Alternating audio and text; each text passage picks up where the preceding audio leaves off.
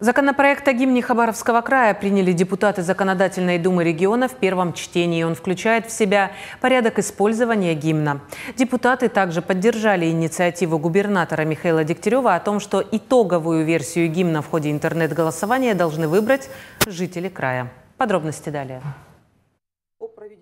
Перед депутатами выступила заместитель министра культуры Хабаровского края. Летом был проведен конкурс на лучший текст гимна. В нем приняли участие 36 авторов. Лучшим был признан текст генерального директора Хабаровской краевой филармонии Игоря Мосина. По результатам конкурса Министерство культуры края разработало законопроект о гимне Хабаровского края. По законопроекту, который мы внесли, а, благодаря губернатору края, его необходимо будет исполнять на первом и последнем заседании Думы, на подъеме флага Хабаровского края, на торжественных мероприятиях, на спортивных мероприятиях, культурных больших мероприятиях. Закон о гимне края депутаты приняли в первом чтении, тем самым выразили согласие гимну края быть. К творческому произведению, как к символу, предъявляются очень большие требования.